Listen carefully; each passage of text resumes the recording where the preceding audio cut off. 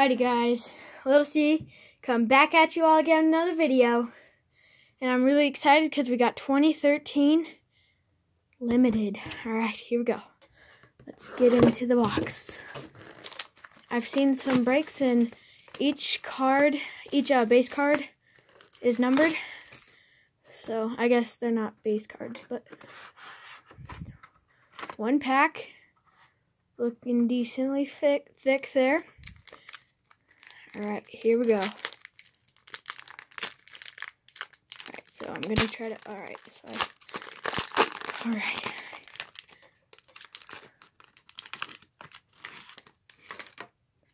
So, you take,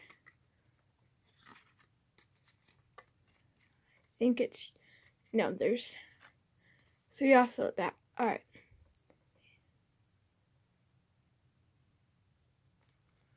Alright, so we got a chance mark out of 249, or 49, sorry.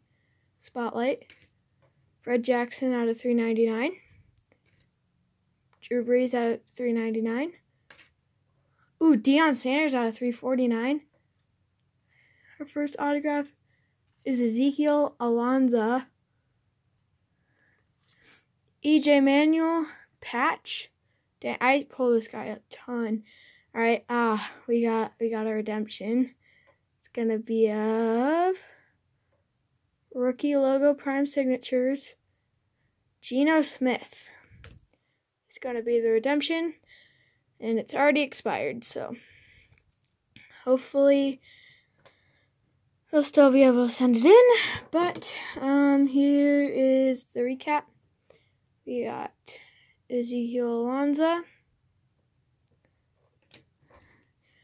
Cardale Jones, or EJ Manuel. Got a decent patch there. And the Redemption. Logo patch signatures of Geno Smith.